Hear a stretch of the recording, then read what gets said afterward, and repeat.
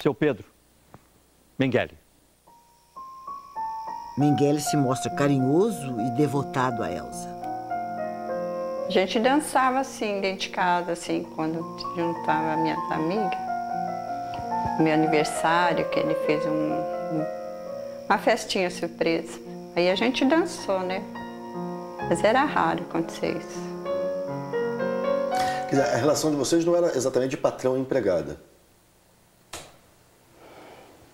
Ai, já começou. Não, porque fica, né? Você, não é comum o patrão dançar, fazer festa, sair para jantar, não é? É. Ele era uma boa pessoa? Ele era. É muito bom. Numa entrevista dada à TV Globo, Wolfram Bosser, o homem que conviveu com Mengele por 10 anos, disse que em nenhum momento da vida se arrependeu de não denunciar Mengele. Eu nunca na minha vida denunciei ninguém, eu não consigo, sabe?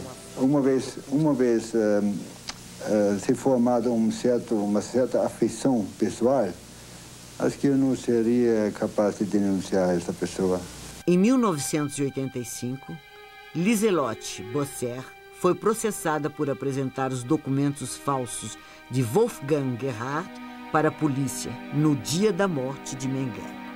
A própria dona Lisolete foi quem apresentou é, a, a, identidade de estrangeiro. Dona Liselotte ela foi processada pela prática do crime de falsidade ideológica e foi condenada por isso a um ano e seis meses de reclusão. Nesse mesmo ano, toda a história da descoberta do corpo de Mengele, que estava enterrado no Brasil, foi esclarecida. Liselotte tinha mandado uma carta para Hans Sedelmeier, um velho amigo da família Mengele que vivia na Alemanha, avisando sobre a morte do Carrasco. Sedelmeier mandou que a mulher dele queimasse a carta. Ela queimou, mas antes tirou uma cópia. A mulher de Sedelmeier guarda uma cópia da carta num paletó do marido. Seis anos depois, Sedelmeier toma uma bebedeira com um conhecido. Als Universitätsprofessor hast du bestimmt schon von Josef Mengele gehört, oder? Ja, klar. Er wohnt anscheinend in Paraguay. Paraguay? naja, der Mann ist tot, mein Junge. Wie wissen Sie das? Ich werde Ihnen ein Geheimnis anvertrauen, das ich ansonsten mit Dienstgehaben nehmen werde. Mir und niemand anderem hat Mengele sein Überleben in Südamerika zu verdanken. Ich bin ein paar Mal dort hingereist, um ihm Geld zu geben. Gott sei Dank ist diese unangenehmen Pflug vorbei. Er ist vor sechs Jahren an einem Strand in Brasilien gestorben. O professor passa a informação para um amigo policial que resolve investigar. O comissário Scholler visita a casa de Sedelmeier. Herr Selmayr, Kommissar Schuller. O policial descobre uma agenda e a cópia da carta que vão revelar o paradeiro de Josef Mengele.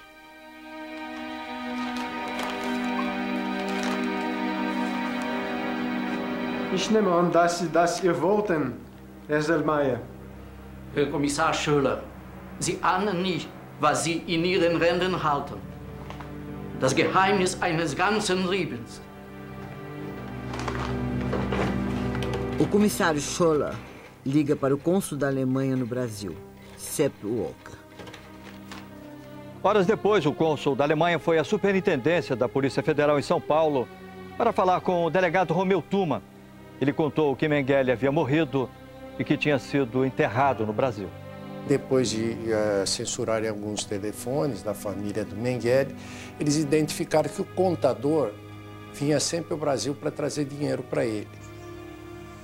Quatro dias depois, a Polícia Federal está diante da casa do austríaco Wolfram Bosser, no bairro do Brooklyn, em São Paulo. A filha mais velha do casal Bosser é quem esclarece a situação. É claro que eu me lembro dele. Ele era muito amigo da minha família. Eu e meu irmão costumávamos chamá-lo de tio Pedro. Morreu na praia de Bertioga. Parece que sentiu-se mal. Não me lembro direito. E ele foi enterrado aqui? Eu acho que sim. A confirmação veio durante uma madrugada de que realmente o Mengele tinha uh, vivido e morrido no Brasil. E toda a imprensa, numa caravana, um grande espetáculo jornalístico, foi até o cemitério do Imbu, onde o delegado Tuma, na época, comandou a exumação do corpo. Em instantes, testes feitos com o DNA do filho de Mengele trazem novas revelações para o caso. E veja também, ele foi preso nos Estados Unidos e acaba de ser extraditado para o Brasil.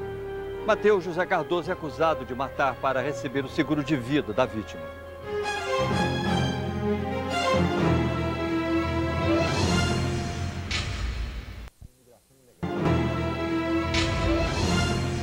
Os exames da ossada retirada do cemitério do Rosário duraram três meses e os legistas concluíram que se tratava mesmo dos ossos de José Mengele. Mas alguns peritos acreditam que aquela ossada não era do carrasco nazista. Nas fotos que nós vimos, ah, o formato do crânio de um é diferente do formato do crânio do outro. Então, ah, isso leva a sugerir que provavelmente seja diferente. Ou seja, que sejam pessoas diferentes. Pessoas diferentes.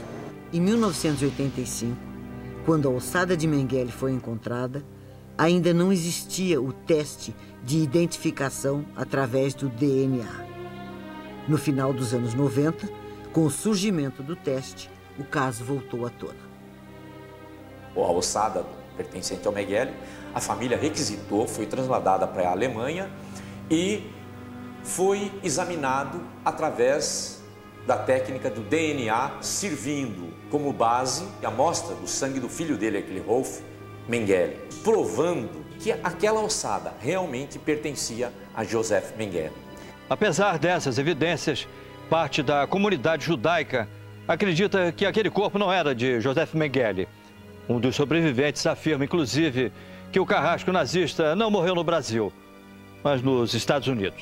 O verdadeiro que morreu em 92, ele foi cremado nos Estados Unidos e seu, seus, eh, suas cinzas foram espalhadas pelo vento.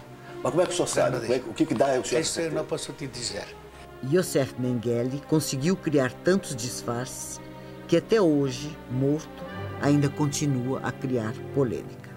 Ele mostrou que toda a competência dele como um anjo da morte, como um médico de campo de concentração, ele utilizou para ele ficar vivo e ele ficou vivo até que a morte natural o pegasse, o que era inexorável, por mais competente que ele fosse, eterno que ele não ia ser, né?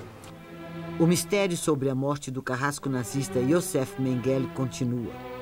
Mas sobre um fato não há dúvida. O anjo da morte nunca pagou pelos crimes que cometeu.